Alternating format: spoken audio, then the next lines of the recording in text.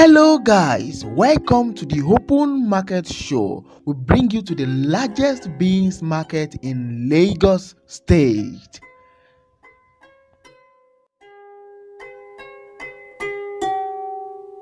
Do you know that at least six trailers of beans are offloaded in Hagege Market every single day?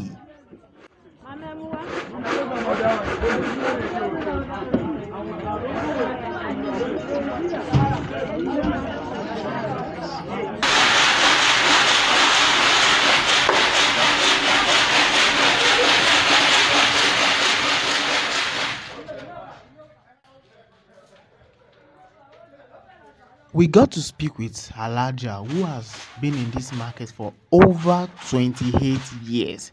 She talked to us about how these offloads are being made every day and her experience with Agege Market and attesting that Agege Market is actually the biggest market ẹ káàsán orúkọ yín mà. orúkọ mi ni alájà fa ahmed.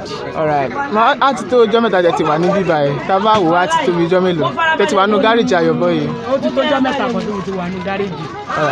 Bíi nineteen ninety four ni mo ti wà ní gáréjì ayọ̀bọ gáréjì. ah wọn tí ìgbà wà gan báyìí.